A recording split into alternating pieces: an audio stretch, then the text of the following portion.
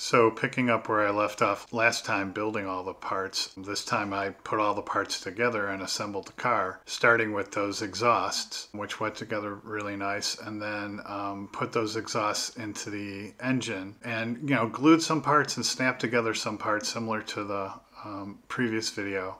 Then glued all that engine together, put the carburetors on, and then put those valve covers on and then uh, assembled the cockpit, so to speak, and then put that on the frame, um, put on the rear transfer case, then put all that into the car and glued that frame in place, and then glued the engine into the frame in the hood there.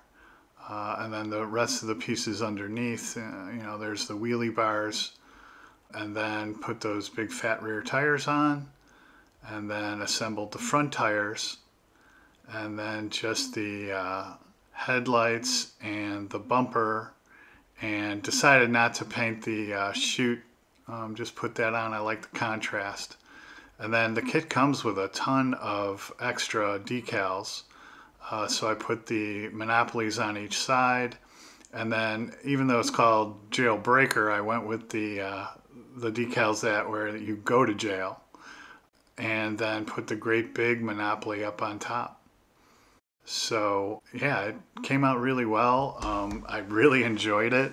Um, again, I'm not exactly sure why some parts come chromed and others you had to paint silver or chrome yourself, but um, I'm really happy with the way the Molotow came out on those exhausts and uh, and the rest of the trim. And overall, it was you know just really fun to build and enjoyed it and it was something different. There it is on the shelf. So another group build in the books.